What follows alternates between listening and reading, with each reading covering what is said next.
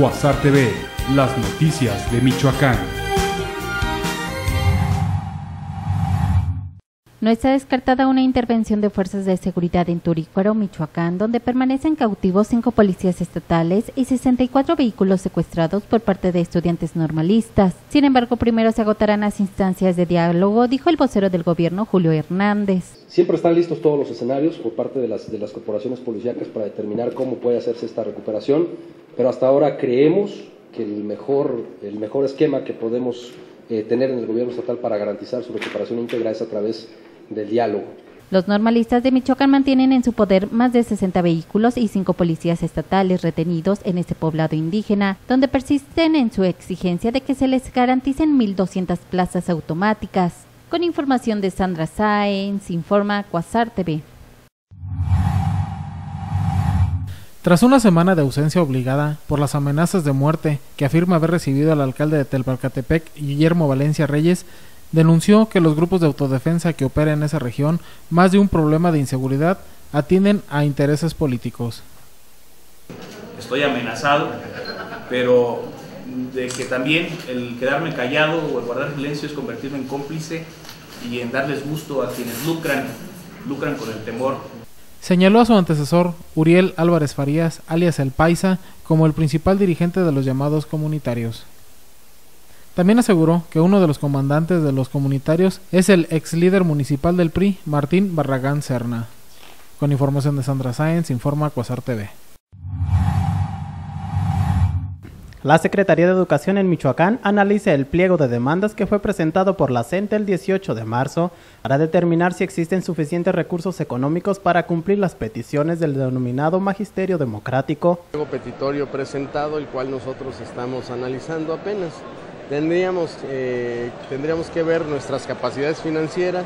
El secretario de Educación Jesús Sierra Arias dijo que hasta el momento no se ha presentado una propuesta a la CENTE, ya que se debe analizar primero si es factible cumplir el pliego que los maestros solicitan, uniformes y útiles escolares. Para Coasar TV, Miguel Ángel Sánchez.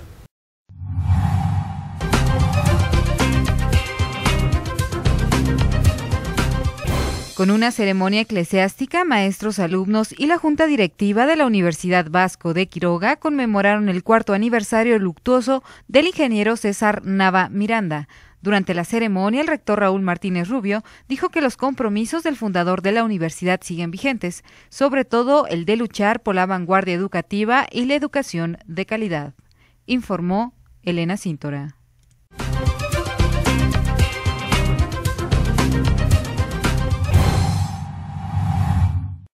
En Michoacán existe un estado fallido debido a que diversos conflictos no se han solucionado, como el caso de los normalistas que mantienen decenas de unidades secuestradas, así como a cinco policías retenidos, señaló la diputada perradista Cristina Portillo. ¿No? Entonces, eh, estamos frente pues, a un estado fallido donde nadie resuelve nada y los, los problemas se complican cada día más. ¿no? Entonces, en este sentido, yo creo que sí es importante que el gobierno ponga atención porque se va agravando el problema del asunto y será más difícil eh, componerlo. Entonces, los normalistas mantienen en su poder 64 vehículos como presión para que el gobierno del estado les otorgue 1.200 plazas automáticas. Este responde que el ámbito estatal no se dará ninguna. Con información de Miguel Ángel Sánchez, informa Acosar TV. El secretario de Educación de Michoacán, Jesús Sierra Arias, reiteró que no hay condiciones para reanudar el diálogo con los estudiantes normalistas ante las acciones de presión que han emprendido para exigir plazas automáticas. Para que la Secretaría de Educación tenga una reunión con ellos en donde podamos llegar a un eventual acuerdo, pues debe ser una reunión libre, desprovista de presiones, en donde ambos tengamos absoluta conciencia y libertad de lo que vamos a acordar. Sierra Arias insistió en que esa demanda no la puede resolver Michoacán y dijo que las autoridades federales de la Secretaría de Educación Pública están abiertas al diálogo con los normalistas una vez que pongan un alto a sus acciones. Con información de Miguel Ángel Sánchez, informa Cuasar TV. A 24 días de haber iniciado el paro indefinido que encabeza la CENTE en Michoacán, maestros con más de 40 años de servicio que fueron reconocidos este 15 de mayo por la Secretaría de Salud Estatal calificaron como lamentable que por la ausencia de docentes en las aulas se haya perdido el respeto y el compromiso hacia los alumnos. Sí es lamentable porque el maestro ha perdido respeto, ha perdido este, también conciencia de lo que estamos viviendo, de lo que estamos haciendo con los alumnos. Maestros de la Coordinadora Nacional de Trabajadores de la Educación se mantienen sin laborar desde el pasado 22 de abril, por lo que miles de niños michoacanos permanecen sin clases. Con información de Miguel Ángel Sánchez, informa Cuasar TV. Este Día del Maestro se reconoció la trayectoria de 2.031 profesores michoacanos, quienes por 30 y 40 años han impartido clases en las aulas y formado a miles de profesionistas michoacanos. De manera personal, me he desempeñado como maestro de profesión, de vocación y por convicción.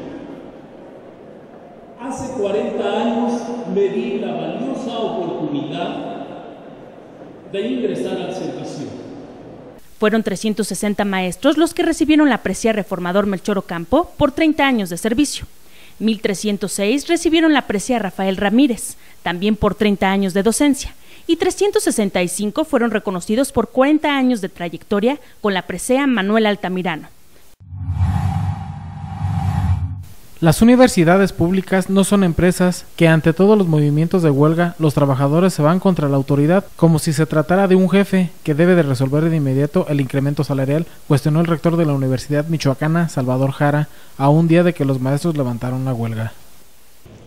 Eh, tenemos que dejar de pensar en la universidad como si fuera una empresa. La universidad no puede regirse por situaciones laborales iguales a las de una empresa en la cual el, patrón pues tiene una plusvalía y entonces los empleados tienen como elemento más importante la huelga para obligar al patrón pues a que les dé el dinero que ante cientos de catedráticos que ayer levantaron la huelga en la máxima casa de estudios, en el acto del Día del Maestro en el Colegio de San Nicolás, el rector se pronunció a favor de la diversidad de opiniones siempre que no afecten a terceros, en este caso los estudiantes. Con información de Dulce Arriaga, informa Cuasar TV. El rector de la Universidad Michoacana, Salvador Jara, celebró que los más de 3.000 catedráticos hayan puesto fin a la huelga y expresó públicamente su disposición a privilegiar el diálogo para evitar que se cierren las puertas de la universidad por conflictos sindicales o de otra índole. Yo quiero manifestar aquí públicamente mi disposición para que no solamente dialoguemos, sino que privilegiemos siempre las puertas abiertas. Eh, si aunque no estamos de acuerdo, siempre nos podemos sentar a platicar. Durante la celebración del Día del Maestro en el Colegio de San Nicolás, fueron premiados 290 profesores de su trayectoria académica, entre ellos el líder sindical Lauro Chávez Rodríguez. Con información de Dulce Arriaga, informa Cuasar TV. La Universidad Michoacana impartirá un posgrado especializado para notarios públicos y egresados de la licenciatura en Derecho. El rector Salvador Jara y el presidente del Colegio de Notarios de Michoacán, Alfredo Osegueda, firmaron el convenio respectivo.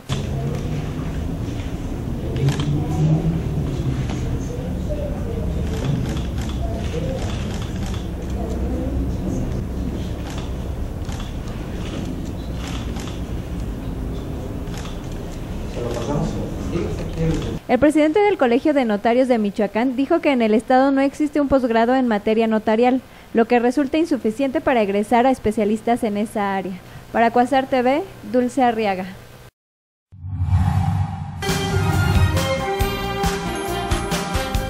Cuasar TV, las noticias de Michoacán.